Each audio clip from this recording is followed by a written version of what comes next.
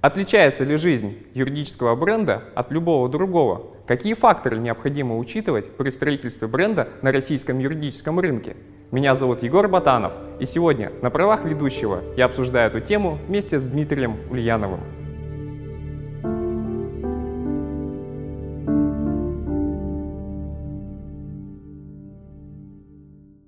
Дима, привет! Привет, Егор. Не будем скрывать от наших зрителей, что ты не просто какой-то приглашенный специалист по брендам и маркетингу.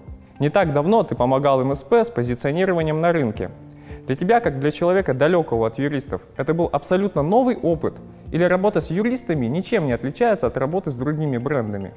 Пожалуй, опыт э, работы с юристами отличается от того, с чем мне э, больше всего приходится иметь дело. Это обычно э, марки широкого спроса.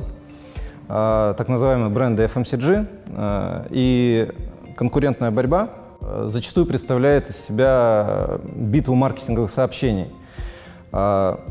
Ты то, что ты говоришь о себе. Когда я погрузился в юридический контекст, оказалось, что твоя репутация и твой бренд – это не то, что ты о себе говоришь, потому что рекламы не так много и э, не так много сообщений выдает бренд. Это скорее, это скорее то, что о тебе говорят. То есть э, можно сказать, что бренд в юридической сфере – это сумма дискуссий между участниками рынка, игроками, которая происходит э, о вашем бренде. Этот диалог вы можете модерировать, можете как-то его направлять, можете влиять на него. А, но вы не владеете им, вы не контролируете ваш бренд. Ваш бренд контролируют ваши коллеги. И в этом смысле задача нетривиальная и очень интересная.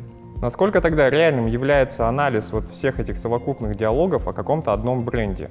Это вполне реально, и э, просто существуют немного другие инструменты. Все, все на, в какой-то мере даже проще, чем э, с с брендами FMCG, когда мы читаем исследования, проводим качественные, количественные ресерчи. Здесь э, нам нужно было поговорить э, со всеми стейкхолдерами. Мы просто слушали сплетни. мы пообщались э, с вашими сотрудниками, мы пообщались отдельно с каждым из партнеров, мы пообщались с вашими конкурентами, и мы послушали ваших клиентов. И стали проявляться достаточно выпуклые образы. Оказалось, что у каждой юридической фирмы существует имидж, и этот имидж не имеет прямого отношения к тому, что эти бренды себе заявляют, если они рекламируются, если у них есть э, на сайте информация о себе. То есть э, это подтверждает мой первоначальный тезис о том, что ты — это не то, что ты говоришь о себе, а ты — это то, что говорят о тебе другие. Вот это мы взяли за основу нашего анализа, чтобы понять, на этой так называемой игровой площадке юридической, да, в, в, этой, в этой индустрии, э, кто занимает какое место, кто отвечает за какую фундаментальную ценность, э, и э, как вам дифференцироваться, найти свою уникальность и быть собой. То есть тебе удалось понять некие правила игры на нашем рынке и основные позиции игроков? Я надеюсь, что мне удалось понять правила игры, э, поскольку, как я сказал, зачастую они четко не доносятся, не артикулируются, и есть очень много высказываний в различных источниках, которые нужно систематизировать. И чтобы систематизировать э, вот эту сложную, достаточно хаотичную информацию, э, мы с вами использовали старый рекламный трюк, который основывается на теории архетипов. Архетип — это устойчивый образ, который не нужно объяснять. Каждый ребенок, не столкнувшись с актом спасения или геройства или волшебства, он знает, кто такой волшебник, кто такой герой. Эти устоявшиеся образы передаются из поколения в поколение, в мифах, сказках, э, пересказываются, из уст в уста переходят и так далее. Э, мы э, выбрали 12, э, с помощью которых мы пытаемся систематизировать, кто есть кто на рынке мы посмотрели на ваших конкурентов и поняли, что они действительно ведут себя по-разному. Дима, очень интересно, кого и как ты увидел на нашем рынке? А, прежде чем э, сказать о том, кто есть кто, могу сказать о всем рынке. И, э, пожалуй, э, для всего рынка характерно с точки зрения вот, ими, имиджа игроков и общего поведения – что э, юридический рынок, он обладает таким немножко, знаете, как свет мое зеркальце скажи, чертами нарциссизма и самолюбования. То есть это рынок, который говорит о себе. а, я умный, я успешный. В результате немножко забывает о клиенте.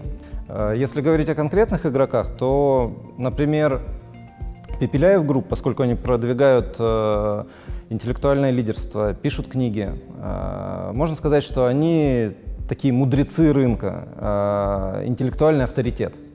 Э, когда говорят о компании Goltsblat, компании Lidings, э, это такие купцы, люди, которые знают, как продать.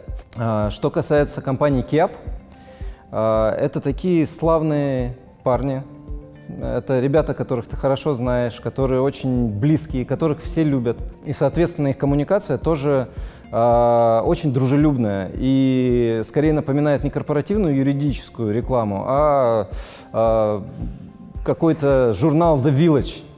Э, они используют яркий дизайн, такую молодежную инфографичную стилистику и так далее, и так далее. О ком еще сказать? Ну, скажи, Дима, о нас. НСП героя. Архетип героя э, это люди, которые умеют преодолевать себя, преодолевать трудности на пути к победе, для которых трудности это не остановка, а это вдохновение, это знак, что нужно идти дальше. И вот это э, умение и преодолевать себя, э, горящие глаза, молодой коллектив делает из вас э, делает из вас бренд НСП. Пожалуй, вот то самое любование, о котором я говорил ран раньше, э, это и есть э, главная коммуникационная ошибка э, на юридическом рынке. Попытка транслировать вовне свои представления о себе. А нужно очень хорошо понимать себя, свои сильные и слабые стороны, и нужно быть честным с собой. И мне кажется, в нашей работе у нас получилось найти ту самую уникальную черту, которая со временем построит бренд НСП. А есть какие-то глобальные тенденции, связанные с юридическими брендами, которые заметны и применимы на нашем рынке?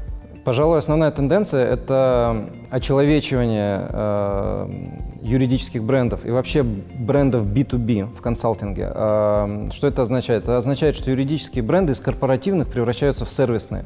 Это выражается в том, что они э, выбирают очень человечную, дружелюбную тональность, необычную для корпоративных B2B брендов и говорят с человеком как FMCG бренды, а, как сервисные бренды. Как они берут э, на вооружение правила коммуникации из э, брендов телекома, например. Да?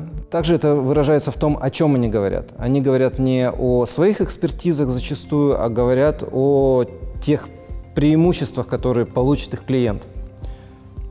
Пожалуй, вот это главная тенденция, которая приходит на наш рынок, э, которая является уже правилом игры э, на западных рынках, а мы с вами много посмотрели коммуникации западные в процессе работы, и приходит на наш э, рынок вместе с западными игроками, которые открывают здесь офисы. Вот они, пожалуй, являются носителями такой новой легкой человечной идеологии, тональности в мире корпоративных бренд-коммуникаций, в том числе и юридических. Дима, большое тебе спасибо. Как всегда, с тобой было очень интересно поговорить и узнать что-то новое. Желаю тебе побольше ярких проектов и решений. Спасибо вам за возможность снова поговорить и спасибо вам за очень интересный проект, который и меня многому научил. Вот так выглядит современный профессиональный подход к построению бренда на российском юридическом рынке. Если вам есть что добавить или вы с чем-то не согласны, пишите нам, обсудим.